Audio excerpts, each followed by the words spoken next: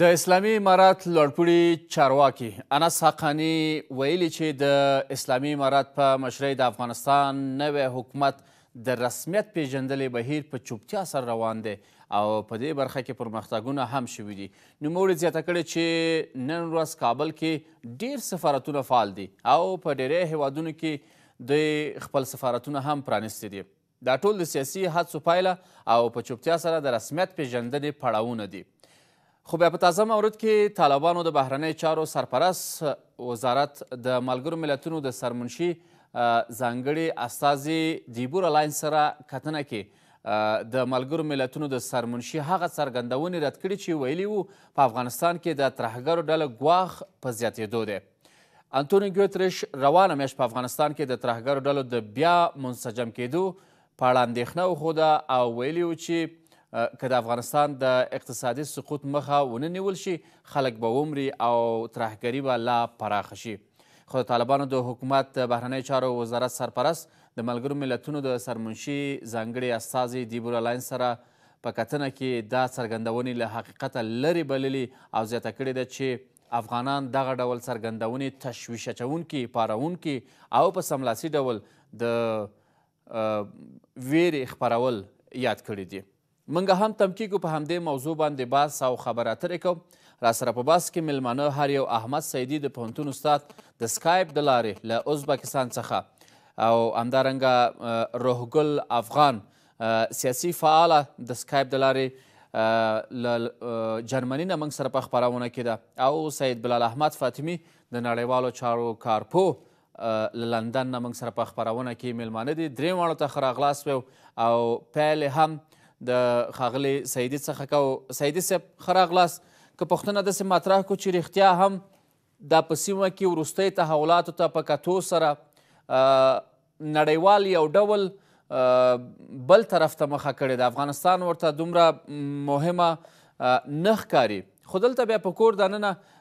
د اسلامي امارت لوړپوړي چارواکي انس حقاني ویلي چې دوی د رسمیت پیژندل لپاره هڅې روان دي خو په چوپتیا سره ستاسو نظر او تحلیل څه دی څه وړاندوینه کوئ چې رښتیا هم دلته په کور دننه د رسمیت پیژندل لپاره دا هڅې په چوپتیا سره چې روانې دي دا څه معنا ورکوي بسم الله الرحمن الرحیم خدمت شما و خدمت بیننده ها و هر دو مهمان گرامی شما سلام و عرض ادب دارم وضعیت افغانستان منطقه و فرا منطقه با چالش های گوناگون رو است چالش های اقتصادی چالش های سیاسی چالش های فرهنگی و در ضمن ازی عدم اعتماد ملی و بالملی یک پی دیگری هم در منطقه هم افغانستان را تهدید میکنه معمولا در سیاست ایجاب میکنه که به شمول آقای انسی حقانی در قدرت باید حامیان خود طرفداران خود دلخوشی بتن امیدواری بتن ما در حالت برس بتنه بله در حدود 20 کشور نمایندگی سیاسی خود را در قطر باز کردن یعنی به خاطر ویزا و بعضی چیزها در قطر باز کردن در دوحه اما اون چی که نمایندگی سیاسی که در افغانستان باز شده اینا نمایندگی سیاسی نیست اینا نمایندگی کوبکی خیریه دودی هست برای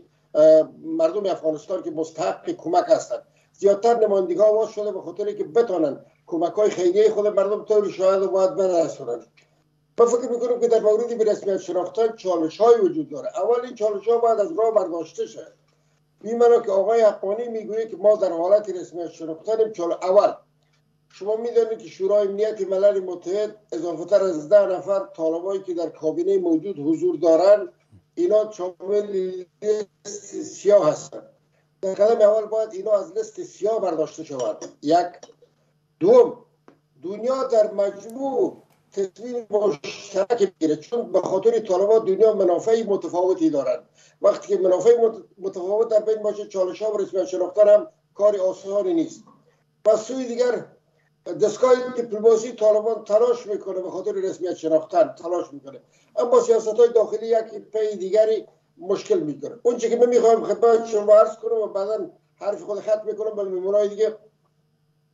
طالبان در هر جایی که بحث کردن آقای متقی گفته که حکمت ما همه شمول است یا به اصطلاحی که من استعمال میکنم همه قبول است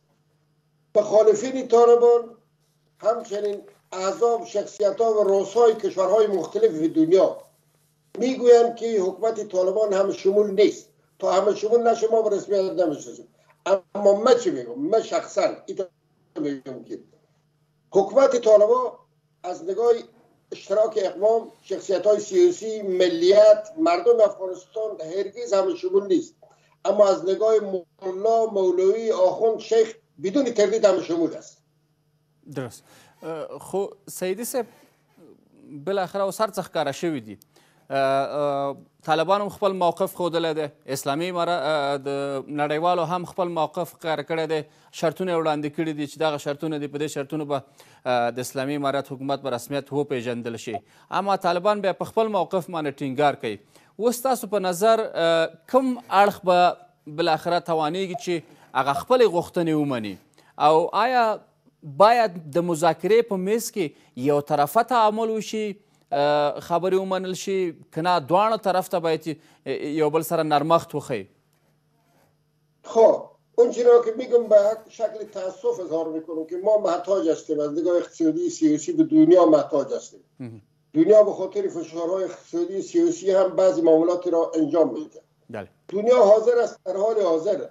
در صورتی که طالبان حکمت هم شمول بسازن به اونا تعامل کنه ولی طالبان تا روز میگن که این حکومت ما هم شمول است البته ما طالبان هم شاید خیلی منن نکنم به خاطر اینکه در داخل خود مشکل دارند نیروهای در داخل وجود داره که اگر اونها را طالبان بخواهند خانه تکانی کنند تصفیه حساب کنند بسیار مشکل است با دو نیرو مواجه هستند یک تعداد نیروهایی که غیر از خود هیچ کس را نمیخواد تعامل دنیا معنا نداره رسمیت شناختن معنا نداره ما پیروش شدیم یک تعداد نیروهایی در داخل هستند که تعامل با دنیا معنا داره و رسمیت شناختن معنا داره تا یک تصفیه حسابی تا یک خانه تکانی در داخل خود طالبان نتانند اون چیزی که دنیا میگه نمیتونن بپذیرن اما اون چیزی که من تاکید دارم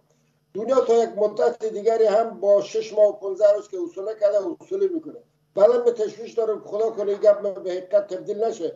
دنیا اگر طالبان نپذیرن تمکین نکنن یعنی جامعه جهانی همگام نشوند به خاطر حکومت همشمول امکان ازی داره که دنیا کمک های بشری خودم خط کنه درست فاطمی صاحب ستاسو نظر څه دی په دې برخه کې که چیرته وضعیت همداسې دوام وکړي او دنیا هم خپل هغه کومکونه بشري کومکونه د افغانستان سره قطع کړي فکر نه کوئ چې په سیمه کې او په خپله په افغانستان کې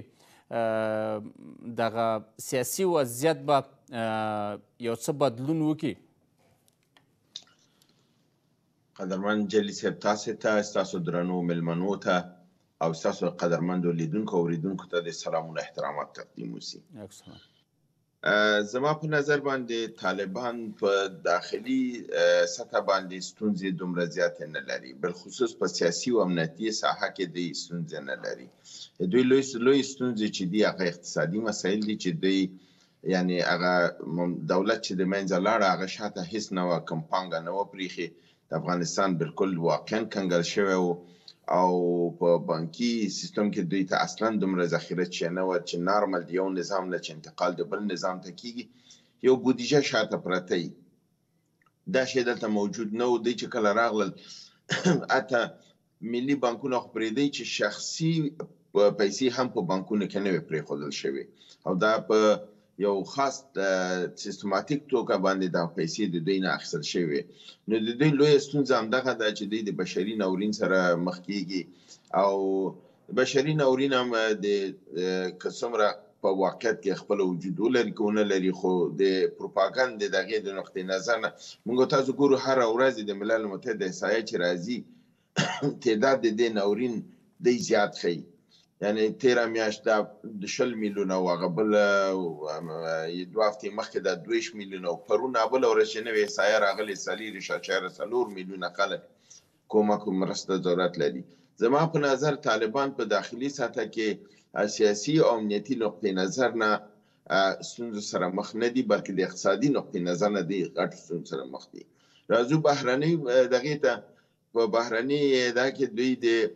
یو بین المللي استخباراتي جنګ سره مخ دي. هغه دا دی چې موږ تاسو په دې تیره یو ونۍ کې ګورو چې د هر طرف نه دغه یو اواز را اوچتیږي چې فرضاً په افغانستان کې ترهګریز عملیات او د دغه سر نه رانیول شوی دی د مراکز جوړیږي او دلته دا دی او دا نړۍ ته مشکلات جوړي او دا زموږ تاسو ګورو چې اوله کې زموږ د گاونډیانو د خلې نه دا شروع کړه صدراعظم د پاکستان دا خبره وکړه چې موږ ته ګواښ دی او هغه درې طرف نه ویل چې موږ ته ګواښ دی چې تحریک طالبان پاکستان دی د افغانستان د خوانه راځي په موږ حمله کوي بل د بلوچ لیبریشن فرنټ یې وښوده او داعش یې وښوده بیا زمین کې د دوی سفیر دا خبره وکړله بیا موږ تاسو وکتل چې انتونیو ګوتیروش دا خبره وکړه چې افغانستان کې داعش او القاعده لګیا دي پیاوړي کیږي بیا عین هم دا خبره موږ تاسو ولیدل چې د انګلستان د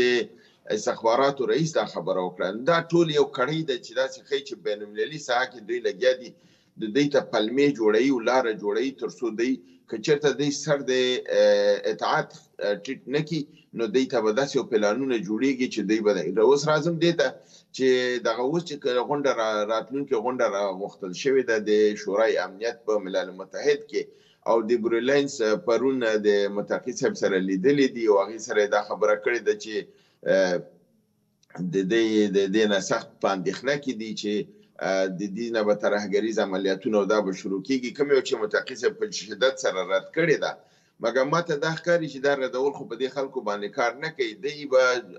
دا شورای امنیت چې راغوښتې ده، دلته دوه کاره دي، که چېرته تر هغه پورې چې شورای امنیت غونډه راځي او طالبان یو څه اطاعت وښيي، د فشار په نتیجه کې خو د شورای امنیت د غونډې نتیجه به د دواړو طرفو په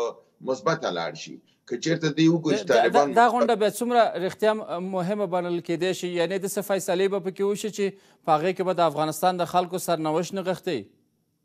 بلکل داسې همدغه ټکي ته زه را روان وم چې که چیرته فرضاً طالبان سر د اطاعت ونه ښیي او سر د دوی په حساب سره په حالت د سرکشۍ کې چې یعنې فرضاً هغه کوم شیان چې نړۍ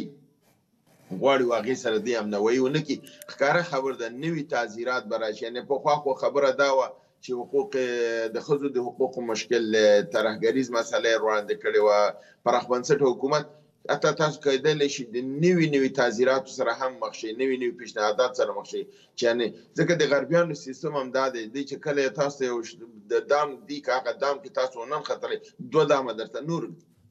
نور ږدي او تاسو هم کوشش کوي چې نور هم په مشکل سره رامخ کړي نو ما ته خو د دې غونډې دغه سره د دې چې د نور تحلیلګران د دنه خوشبینه دي هغه دا فکر کوي ځکه چې د ملل متحد د رهبرانو او د سیاسيونو د لیست نه د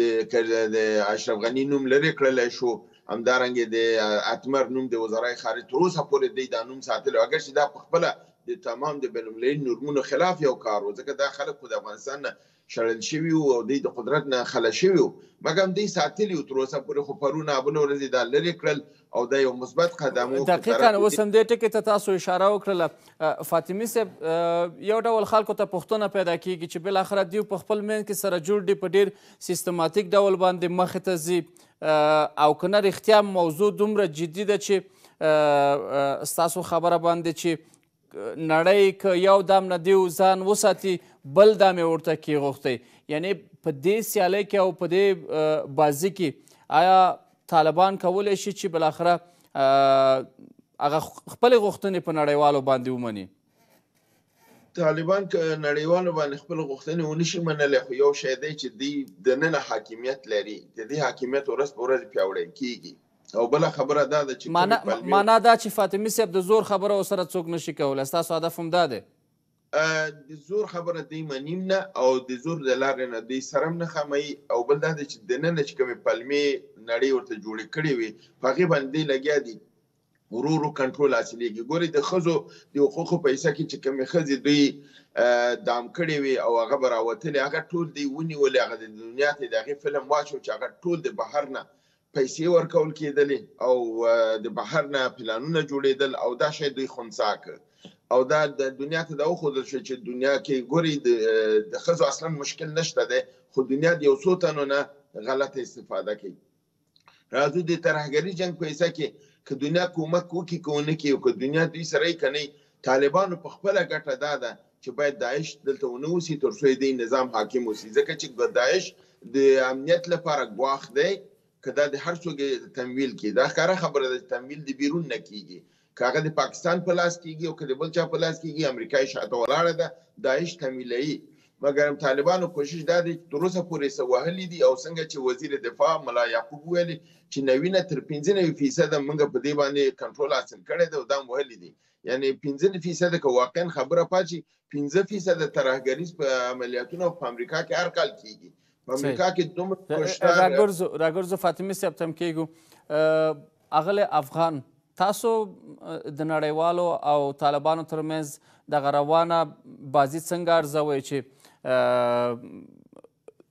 خپله طالبان خو وایي چې دیو په خپلو کارونو کې موفقه دي آیا وخت د دې را رسېدلی دی چې بالاخره داسې ګامونه پورته شي چې هغه د افغانستان د خلکو د برخلیک په برخه کې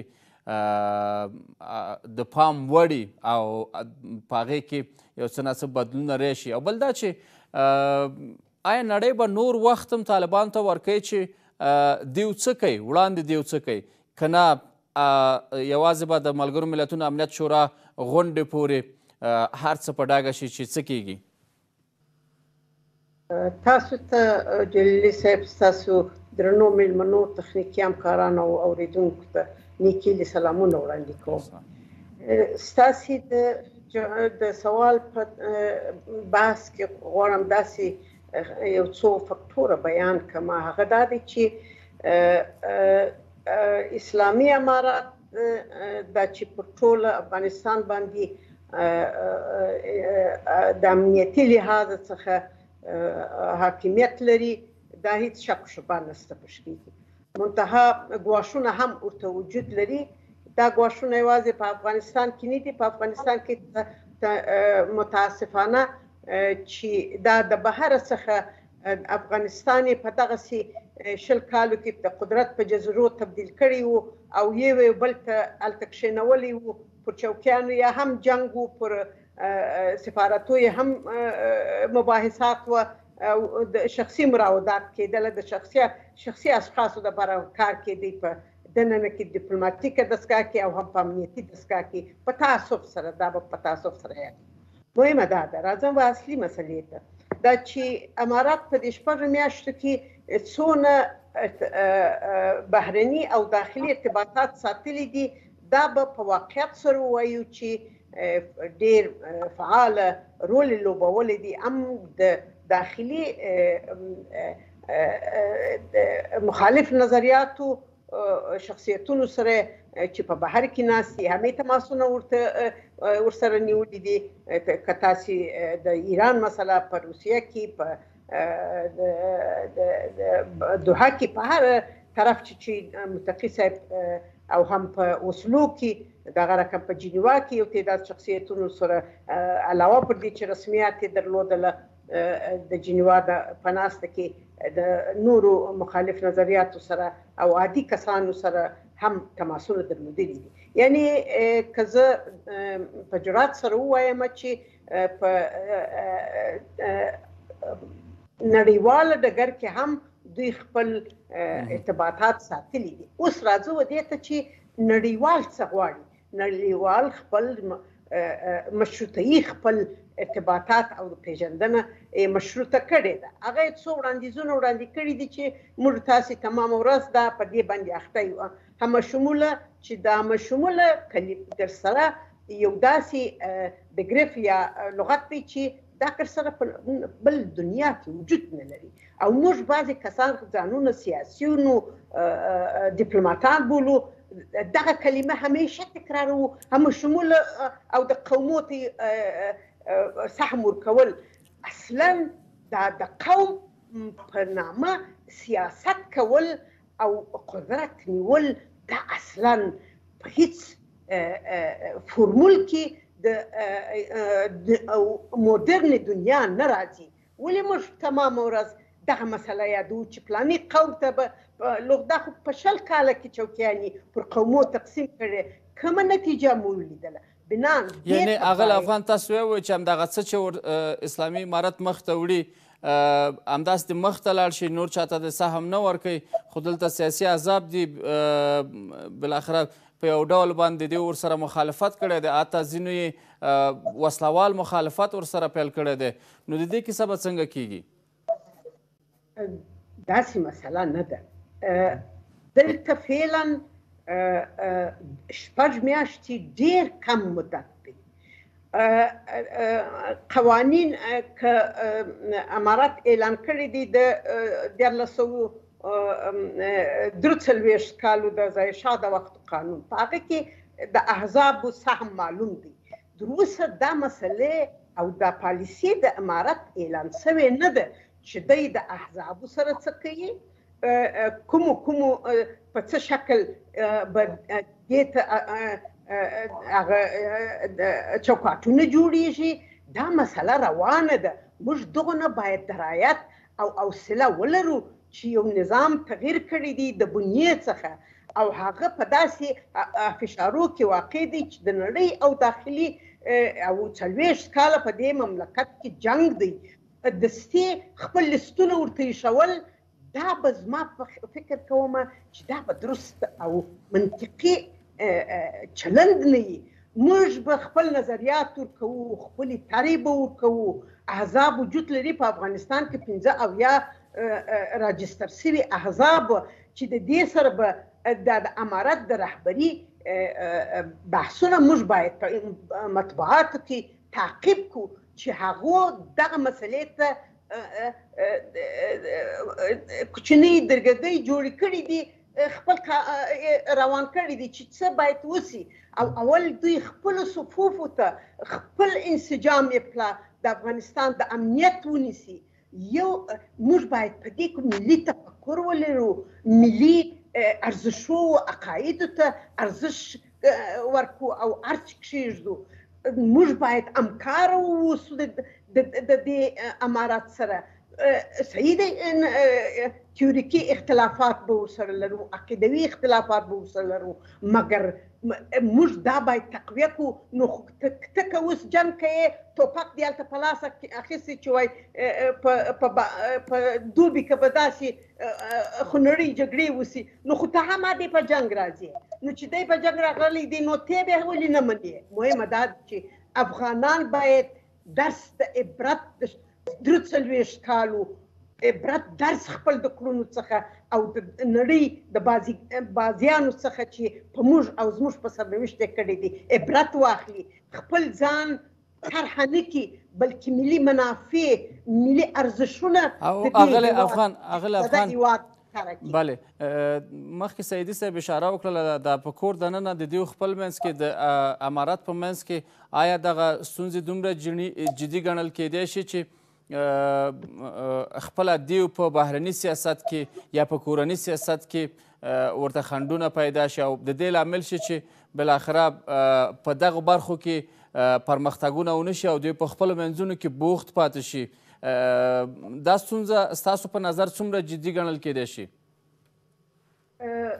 جلدی صاحب داسې مسله ده چې نړۍ هغه پالیسیانې چې هغه ستراتیژیکي دکتورون چې په افغانستان کې لري دا موږ ته اوس باید جواب کوي راځم دې ته چې زه افغان او زه یو مسؤل افغان یو په تفکر او خپل په ملي ارزښو باندې آګاه افغان زه د دغه معضلاتو سره څنګه برخورد کوم دا چې اختلافات وجود لري دا خو په یو کورنۍ کې هم وجود لري دوه ورونه سره مخ اختلاف نظر لري پلار اولاد سره مخ اختلاف نظر لري په احزابو کې فرکسیونونه سته یو فکر کوي بل فرکسیون خپل دغه موخو اهداف او کانسپت لپاره بل ډول فکر کوي اختلافات ولې موږ دومره لوړ کو چې هغه اختلافات په مابینځ کې دي نو هیڅ شی مخته نه ځي اختلافات باعث د مخته تک کیږي که هغه مثبت اختلافات دي پر دې اختلافات نه چې پر چوکۍ اختلافات کې ما قدرت به ته قدرت بيږي اگر قدرت میگیرم ما باید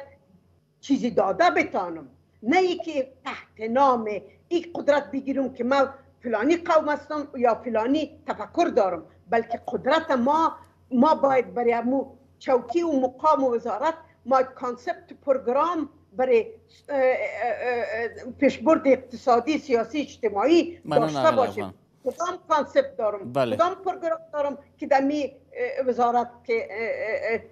احزاب خو پر دغه مسائل باندې ولاړ دي هغه خپل پروګرامونه اجازه راکړئ راګرځو اغل افغان تاسو ته راګرځو سیدي صاحب یو څه نور باید حوصله ولرو تر څو خپل طالبان خپل چوکاټ جوړ کړي بعد د هغې نه هغه څوک چې مخالف دي ورسره هغې ته به خپل ځای ورکړ شي او بل دا چې ستاسو معلومات څه دي چې خپله هلته په کور دننه د دې احزابو مشرانو سره کوم چې ډیری یې په پاکستان کې دي آیا طالبان ورسره په مشورو بوخت دي داسې د تفاهم لارې ښکاري که نه اول خو بله شش ماه و چهارده روز از حکومت طالبان گذشته خیلی وقتی کمی هم نیست اگر فرصت دیگری هم ضرورت داشته باشد عیبی نداره که فرصت داده شوند تا بتوانند کاری بکنند دنیا هم تا هنوز نگفته که ما با مخالفین سر کاری داریم گفته که حتی امریکا گفته ما حاضریم با طالبان تعامل کنیم مشروط بر اینکه اون که ما میگیم بپذیرن که من هم طرفدار کلمه حکومت همه شمول نیستم طوری که خانم افغان گفتن من میگم حکومت همه قبول یعنی مورد قبول باشه بیشتر هم تذکر دادم بسیار اعترابانه عرض کردم که از جمله 34 وزیر سرپرست از جمله سی و ولی سرپرست از جمله 20 قماندان سرپرست همه مولوی است به هیچ متخصصی هیچ انجینر هیچ دکتری ندیدم اگر دوستا دیده باشن نام یکی را بگیرن من خیلی خوشحال میشم خیلی خوشحال میشم از طرف دیگه شما بحث کردید در بحث داخلی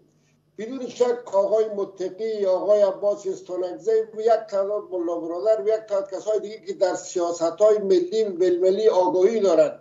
تعاملات جهان بهتر میدانند درک میکنند اونا حاضر هستند که از نربش، از حوصل مندی از تعامل با جهان کار گیریم چون ما متاسفانه به جهان محتاج هستیم به نان محتاج هستیم پیسیج محتاج هستیم اما سیاست های داخلی وقتی که آقای متقی به قطر میره یا به در داخل یک قمندانی یا یک طالبی یا یک کسی یک عملی را انجام میده کسی را لطکوب میکنه کسی را جزا میده کسی را خو هر که فکر میکنیم وقتی که دنیا میبینه فکر میکنه که تمام سیاست های طالبی است من باور دارم دقیقا میگویم که تصفیه کسانی که در سیاست جهانی آگاهی ندارند در سموم طالبان کار آسانی نیست حرف دو حرف دو بیشتر دوستان جناب آقای فاطمی و خانم از شورای امنیت گفتند به به یکی دست تو که شورای امنیت یعنی شورای امنیت که 15 عضو داره که 5 تا عضو دائمی هستند که حق ویتو دارن شورای امنیت ملل متحد آله دست ابر قدرت هاست یعنی آله دست امریکا روسیه چین فرانسه و انگلیس است من فکر میکنم که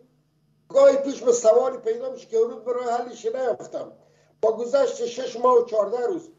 چرا دوستای طالبان مشمولی پاکستان قطر عربستان سعودی همینا چرا طالبان رو رسمیت نشناختن آیا اینا از امریکا میترسن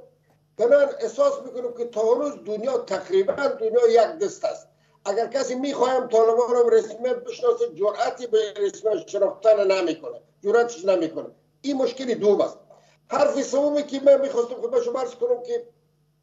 ما استقلال آزادی اینا بارها شعار دادیم گفتیم هر کس که علاقه بند است من میگم کشورهایی که استقلال اقتصادی ندارن یعنی محتاجن به نان دنیا نمیتونن استقلال سیاسی داشته باشن نمیتونن بنا بهتر ای است که ما هم با دنیا تعامل کنیم هم با خود کار کنیم هم با دنیا بدون شک طالبا سر تا سر افغانستان تقریبا جغرافیه مطلق به زیر اثر خود دارن تحت کنترل خود دارن هیچ کس نمیتونه منکر شه اما من تا روز که طالبا گفته باش که ما آمده انتخابات ما حتی چند روز پیش طالبان گفتند که انتخابات یک کار بسیار مردود و غیر دینی است انتخابات حتی روز سیدی صاحب به ما سره داسې پوښتنه پیدا کیږي که همدا تاسو اوسئ فرضاً د مثال په توګه باندې چې تاسو راشئ شل کاله د نړیوالو پر ضد باندې جګړه وکړئ درست بعد د هغې نه واک تاسو ته په یو ډول یا سپارل کیږي یا په زور نیسئ په هر ډول چی خو ظاهرا ښکاری چی په زور باندی نیول شوی افغانستان آیا په هغه وخت کی تاسو آماده کیږی چی بیا هم د انتخاباتو مسله مطرح کړی په داسې حال کې چې موږ په تیرو کې په تیرو حکومتونو کې دوه ولسمشران هم لیدلي دي چې یو ځای لوړه کړې ده ببینید انتخاباتی که در افغانستان در زمان اشرف غنی به گذشته صورت گرفته انتخابات شفاف نبوده تقلب بوده جل بوده تزویر بوده ولی متاسفانه یک تعداد وطندار همون وقت هم تایید میکردن هم انتخابات در رسانه ها اما میبینید یک دستان وقتی که طالب ادعا داره میگویه که حقیقت هم است سر تا سر افغانستان تسلط داره در جغرافیه میگویه که ما نماینده 90 فیصد مردم افغانستان هستیم که چرا از انتخابات میترسه به میدان بره به اصطلاح با غیرت با جورت انتخابات رو ببره چرا تا به حتی به لوی جرگه که بیرودا بعد سیاسی پیشنهاد کرد چرا به این توافق نمیکنه حتی طالبا باربا گفتن شما یک هفته پیش جناب صحبت آقای متقی را شنیدین که انتخابات نزد ما مردود است انتخابات ما نمیپذیریم در حالی که چیزی که در دنیای امروزه رواج است انتخابات است حتی من نمیگم که طالبا قدرت به کسی بتره قدرت درست است کسانی قدرت به دیگه کس نمیده که از طریق انتخابات آزاد یک حزبی در یک کشوری در جرمنی در نروژ در کشور دیگر قدرت میگیره حق داره به کسی نته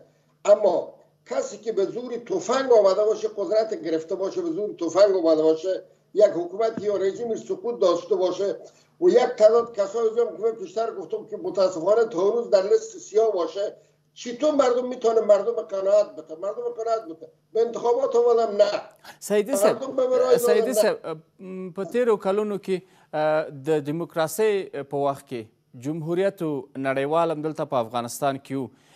مګر هم په افغانستان کې انتخابات شفاف نو درست تاسو ته اشاره وکړله نو او نتیجه هم درست نتیجه هم ورنه کړله نتیجه هم ورنه کړله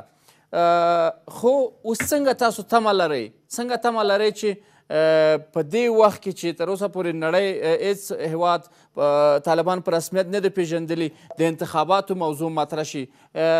لا وخت دی باید د نړیوالو سره اول خپل مشکل طالبان حل کی بعد د هغې نه به راشي انتخابات موضوع مطرح کیږي او که د بل څه ظاهرا دا خبره رد کړم ده مخکې دې نه چې زما پوښتنې ته ځواب راکوي دمه به واخلو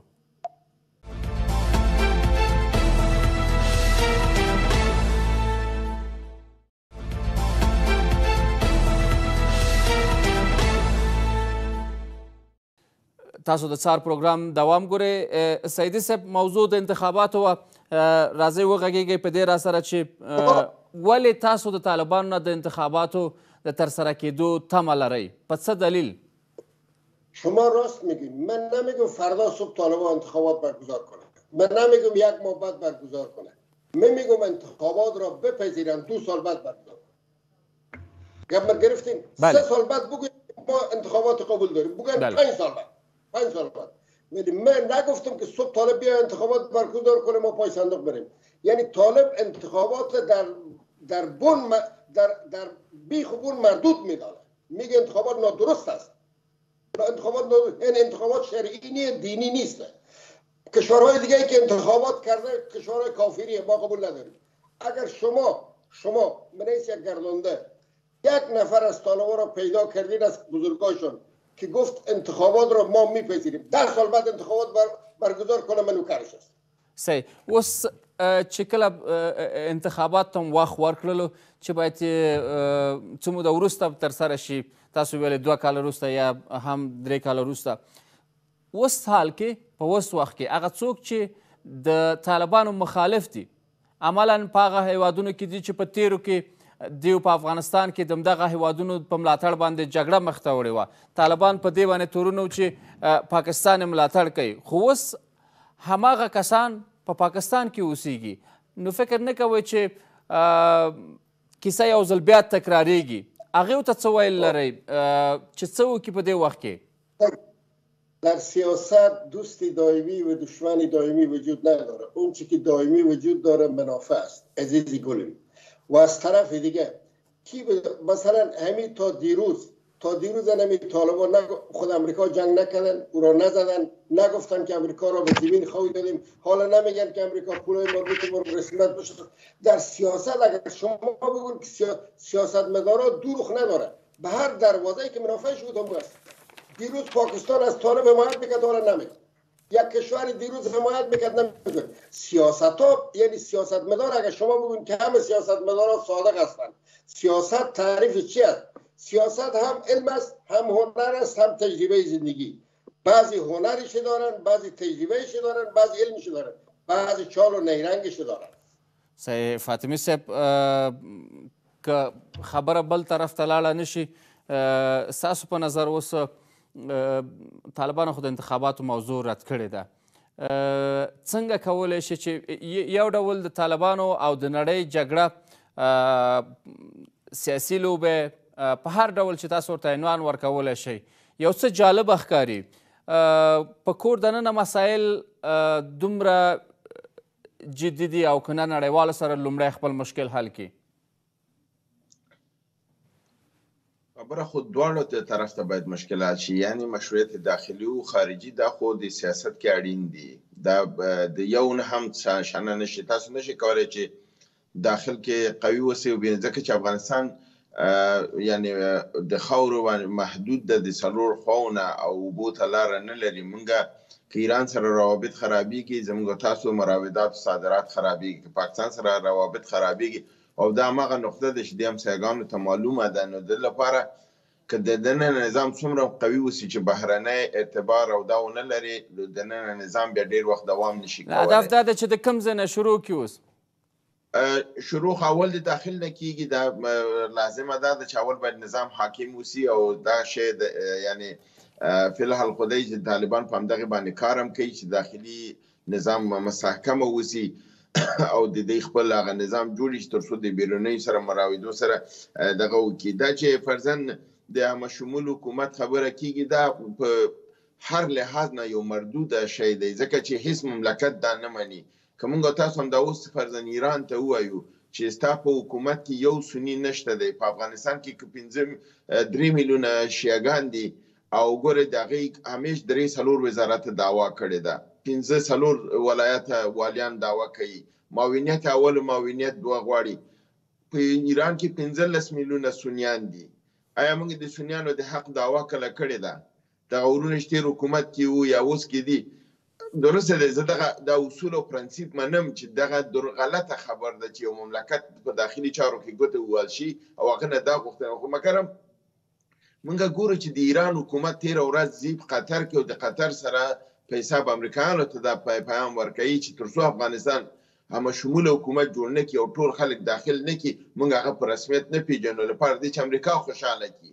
نو بیرته ایران نه باید دا سوال وشي چې تا دا پنځلس میلیونه سنیانو ته په حکومت کې ځای ورکړی دی، ایا په تهران کې یو یو مسجد د سنیانو لپاره وجود لري؟ زما خو کابل دی ټول د دوی د لویو مساجدو نه ډک دی، موږ هیڅ کوم مشکل دوی سره نه لرو او د دوی که زموږ په کابینه کې وي موږ پرې خوشحاله یستو، ځکه هزاره ګان اهل د قلم دي، پوه خلک دي، ناپوه خلک نه دي. صرف دا زه د سیاسی نقطی نظر نه دا خبره کوم د ایران لپاره په موږ خپل دی سره مشکل نه لرو هغه د اوس هم موجود دی په فعلی حکومت کې زموږ اهل تشیع او سنی هزاره ورونه موجود دی دا زموږ داخلی مسله ده زموږ اصلا مشکل ور سره نشته دی ایرانیان چې دا شی موږ ته راوړاندې کوي نو بالمثله باید سړی ورته وي چې تم سنیانو ته حق ورکړه تم یو مسجد ته اجازه ورکړه په تهران کې تم خپل مخالفین دغه کړه ستا هم کومه دي ستا هم تا سره ارمینیايي شته، اذربایجاني شته دی، تا سره بلوچ شته دی، تا سره عرب شته دی، ستا په کابینه کې کوم یو عرب موجود دی، کوم بلوچ موجود دی، کوم ارمینیايي موجود دی، زم د ایران حکومت په رسمیت نه پیژنم په دې چې ستا په نظام کې ټول عامه شمول نشته دی. صحیح اوس کولای شو فاطمي صاحب فاطمي صاحب دلته په افغانستان کې په افغانستان کې اوس د تیرو کلونو تر اوسه پورې دا د تفرقې د قومي تفرقې سیاست دومره جړلې پراخې او ژورې دي چې هر وخت هر ګاونډی چې وغواړي کولی شي چې په افغانستان کې د دې په واسطه باندې لاسوهنه وکړي اوس که ایران دا خبره کوي خو حتما تاسو په دې باندې پوهیږئ چې په ایران کې د افغانستان نه سیاسي مخالفین هلته پراته دي چې د اوسني حکومت سره مخالف دي که پاکستان څرګندونې کوي هلته هم پراته دي د طالبانو سیاسي مخالفین په ټولو هیوادونو کې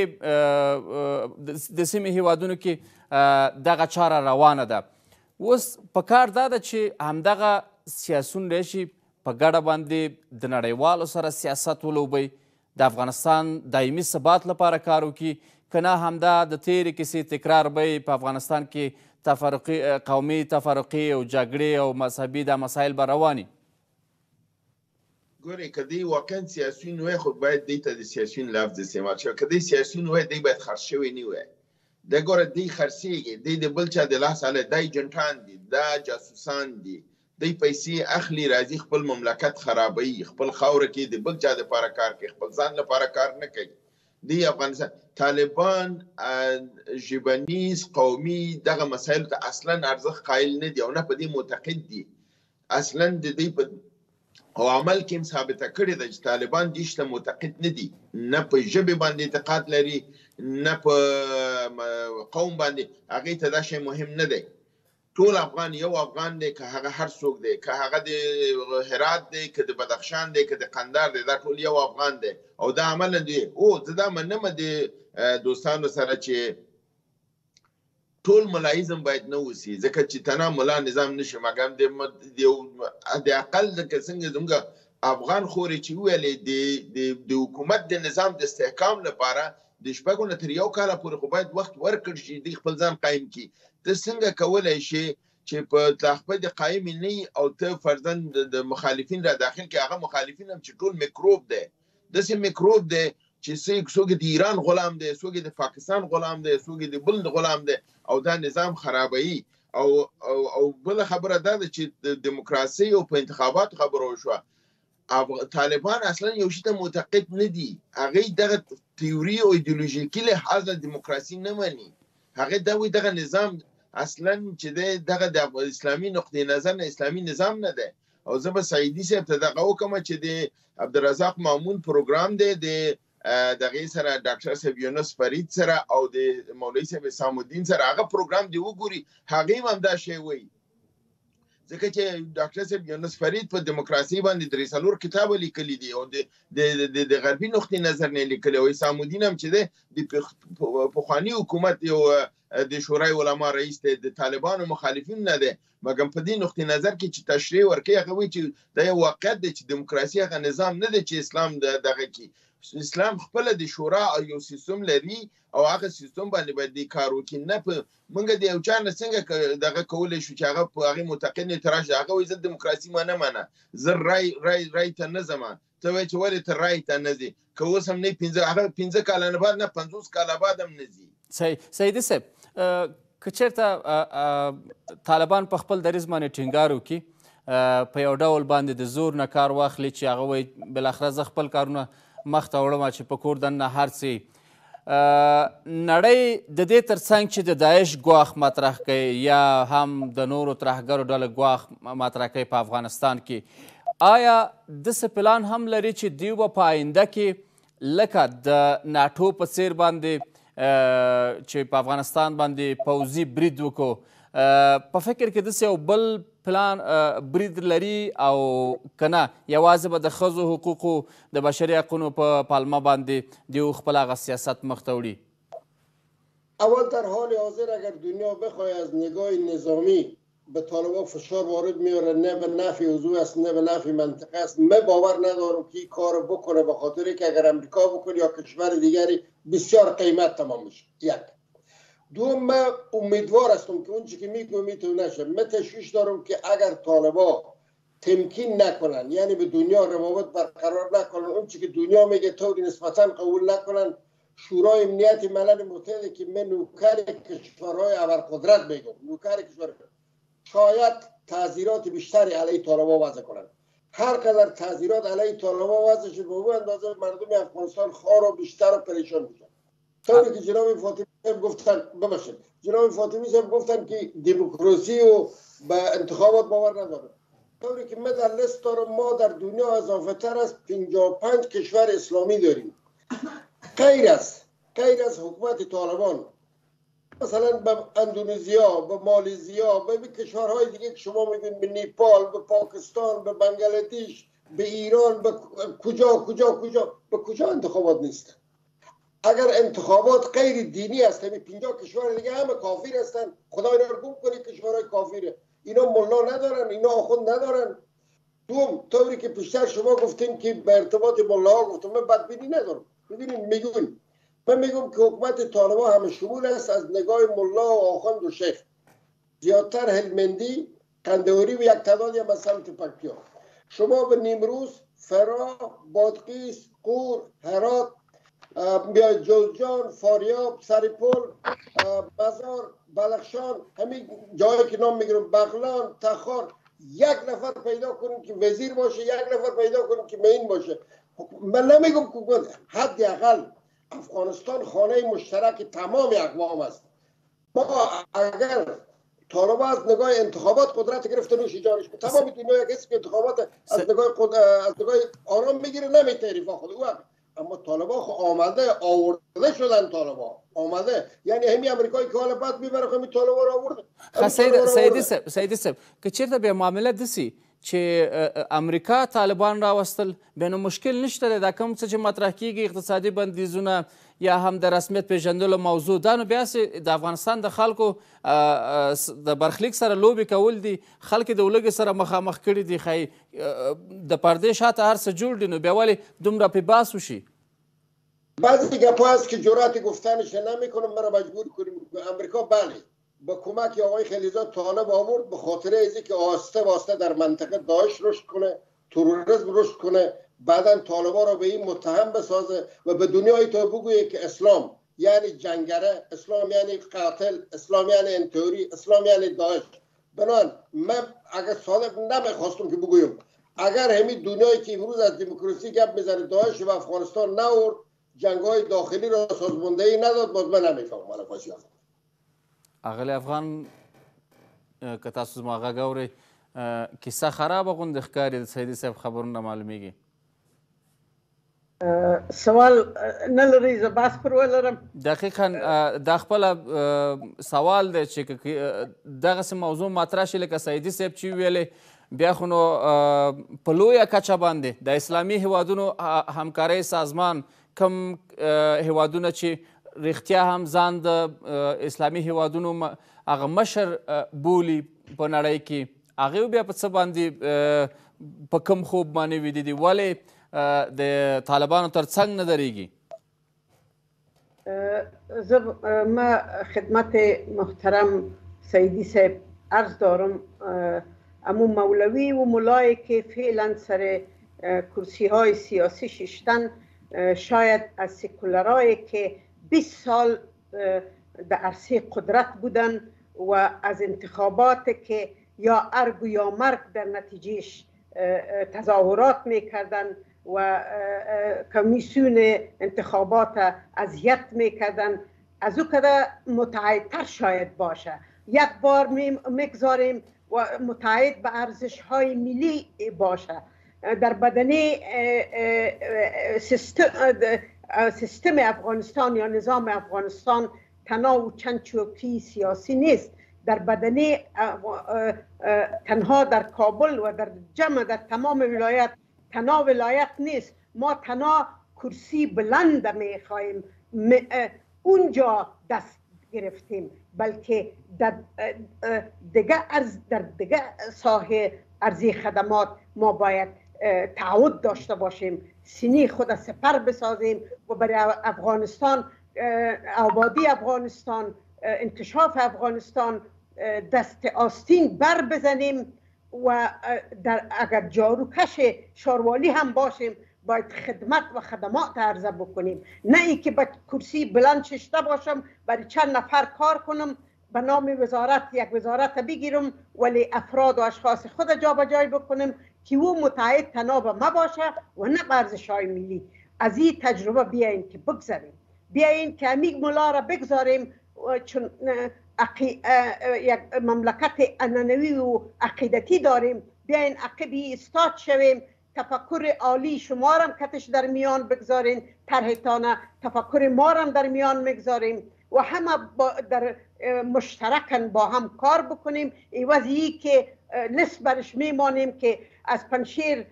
براین از مزار براین از این ما همه اتباع افغانستان هستیم در هر نقطه افغانستان که زندگی خواهیم انتخاب میکنیم انتخاب کرده میتانیم نه مزار از مزاریست نه قندهار از قنداریست بلکه مزار و قندهار یک افغانستان متعاید است باید به این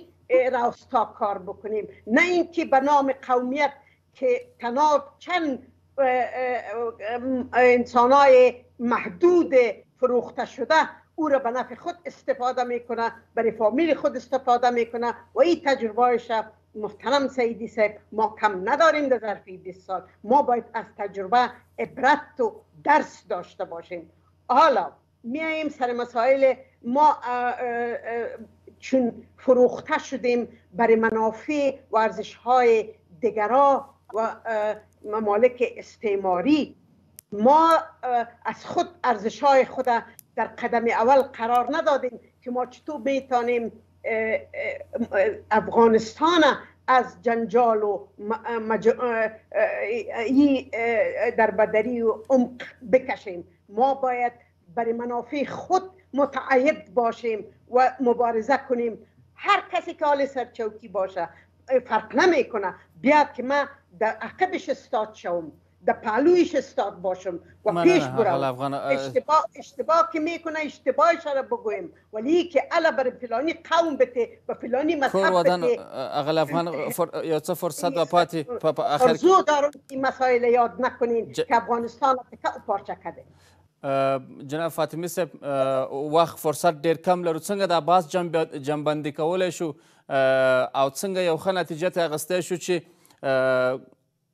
اول باید متحد شو دلته په کور دننه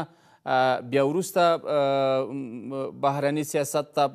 ورودانګو او کنه هم مهاله د دې دواړو سیاستونو مخ ته وړل په یوازیتوب سره یو څه ستونزمن ښکاري نه په سیاست کې هیڅ ستونزمن نه دي کمال د سیاست همدا دی چې ته به په مشکلو حالاتو کې په بحران کې مدیریت به کوي او کنټرول به کوي ته به بهر ملک سره به هم مراودې ساتي او د دننه خوره کې به خپل کنټرول او نظام به ساتي خو فاطمي صاحب همدا اوس پرتې ستونزې د افغانانو په مخ تاسو نه ګورئ بالکل پرتی دي هم دغه مشکلات دي چې دا باید حل شي او د دې لپاره موږ هم دغه چې ناسه سو صحبت چې کوو څنګه باید حل شي څنګه باید حل شي خو همدا سیاسونې باید وکړي دغه نظام چې دی دغه باید د خلکو خبرو ته چې غوږ دي دغه څوک چې مشورې ورکوي مثبتې مشورې باید واخلي د هغې مطابق باید رفتار وکړي یو خبره زه د سیدي صاحب ته دا کوم چې هغه یې دا ویل کې همین ممالک اسلامی که انتخابات دارن و آیا اینا مسلمان نیستن ما برعکس از سیدی صاحب سوال میکنم برای ما یک حکومت اسلامی واقعی را که در اونجا نظام اسلام حاکم باشه نشان بتن آیا آیا در پاکستان ایرا منډی وجود نداره آیا در پاکستان در اسلام آباد لایسنس شراب با, با, با, با پنج کمپنی بزرگ داده نشده در, در کدام قانون اسلامی شما اجازه را داده میتانین آیا در ممالک عربی نظام ها نظام های مردمی و بحث های مردم است اصلا وجود نداره دیگه ای است که و مشکلی که به افغانستان با به او روبروی شد مشکلات جنایتکارانه ای که در بن صورت گرفت از همون روز این مشکلات به افغانستان آمد جنایتکارا را در بن آوردن از بن آوردن فاطمه از فرصت کم ده فرصت وزیر بر ما چیز کردن نشاندن ده وقت هیچ کس سوال نکرد که چرا اجدن یک چیز باشه حالا این مشکلات ما شما با این بحث میکنیم این رای حل نیست رای حل یمی است که باید مشورای بهتر به اینا داده شوه ما ای را گپ تایید میکنم که اگه اینا با جهان امروایی و همسازی نکنن با مشکلات زیادی روبرو خواهد شدن شورای امنیت ممکن که تعذیرات بیشتری را وضع کنن با مشکلات از این خاطر رای حل باید دیده شوه و باید با جهان مراوده ها ساخته شود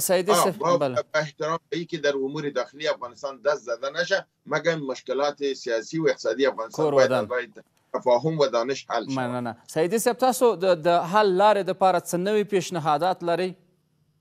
اونچه که ما از بیرون کشور افغانستان نصیحت میکنیم اینا نصیحت های پدرانه اگر این نصیحت های ما شنیده چه خوبه طوری که فاطمی صاحب گفتن بله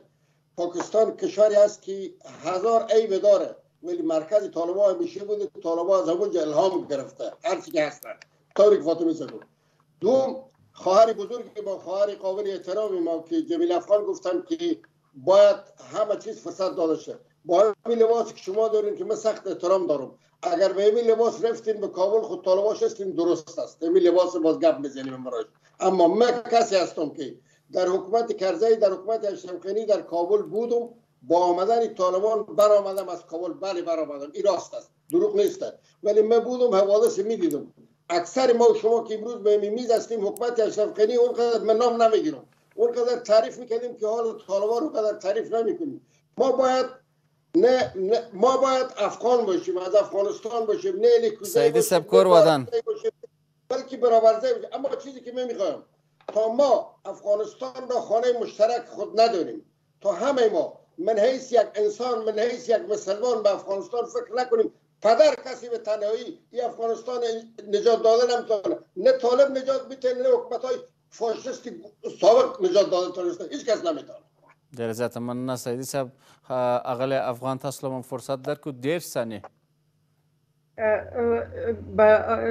زه داسې وړاندیز لرم چې موږ باید سترګې نړۍ ته ونه نیسو چې نړۍ زما سره څه کوي زه باید خپل په معضله پوه یم خپل په سیاسیونو ګذشته باندې پوه یم زه د هغه پر بنسټ باندې زه د افغانستان د پاره نوی طرحې نوی فرمولونه نوی مسائل طرح کم ځکه متيقن یم چې خپل د اهدافو د پاره د افغانستان د ملي ارزښتو د پاره زه کولای سم لباس تم تغیر ورکم زه کولای سم شاته هم ودرېږم هدف دا نه دی چې حتما زه دا لباس اغوندم لباس مهم نه دی لباس هر وخت تغییر ورکول کیږي مګر خپل د تفکر لباس ته باید تغییر ورکړم او د افغانستان د ارزښتو په خدمت کې پرېږدم ډېره زیاته مننه اغلې روحګل افغان سیاسي فعال همدارنګه احمد سعیدي تاسو نه هم مننه کوم او سید بلال احمد فاطمي دا چې باس کې را سره ګډون وکړو او په همدې سره درنو لیدونکو زمونږ خپرونه هم پای ته رسیږي ښه شپه